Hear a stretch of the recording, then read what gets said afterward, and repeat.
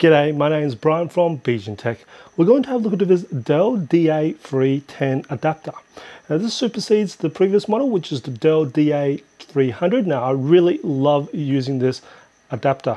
And we're going to have a look at what has improved from the previous model on the DA310. Of course, the first initial thing you can see is the DA310 is silver in color and the old DA300 is black in color.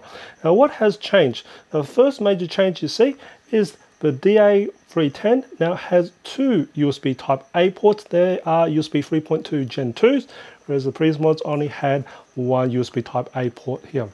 The next major change, and this is a big change, is the USB type C port and of course our one does have USB type C port but this one here this USB type C port could not do power delivery. Now the DA310 it can do power delivery up to 90 watts.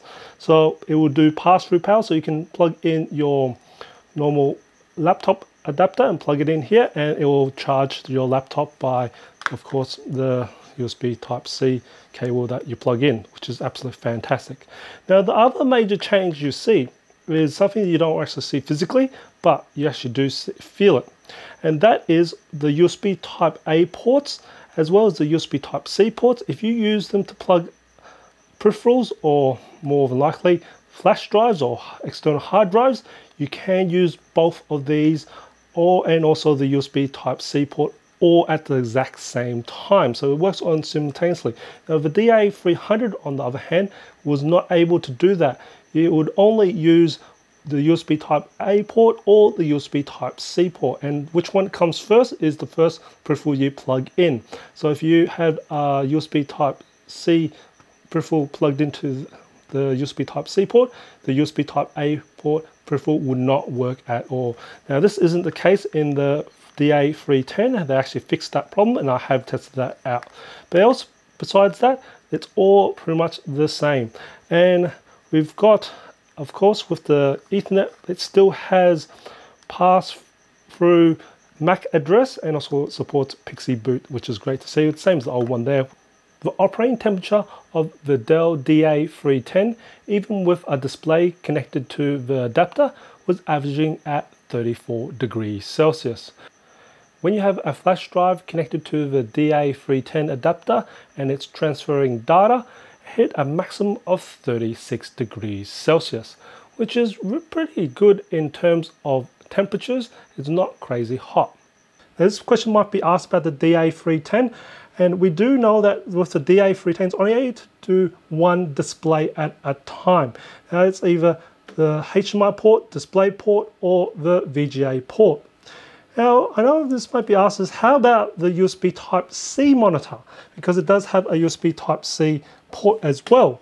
Now, is that counted as one of the displays or can you do dual displays for it? So what I'll do is I'll do that test right now. So at the moment, we've got a display port on the right, monitor connected, and we can see it's in extended mode as well. So what I'll do is I'll connect the USB Type-C monitor, which is the one on the left here, and I can see it's done something because it's found something there, but it has not displayed it at all.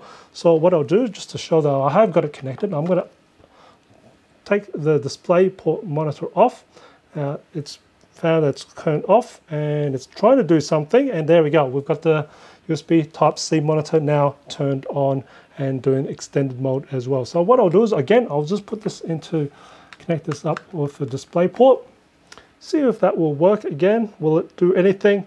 No, it does not look like it's able to do two displays through this DA310 regardless if it's USB Type-C or any other ports. So it's only able to do one single display. As you can see, we can hear there's something it's trying to turn on the, the display, but unfortunately it's not able to bring it up at all um, for the second monitor. I hope you found this video informative or you enjoyed it. Even to support my channel, smash that like button for me. And if you haven't already, subscribe my channel by hitting that subscribe button on bottom screen. I do try to upload a new video every week. And if you want to support me even further, I do have a membership, which you can click on that join button.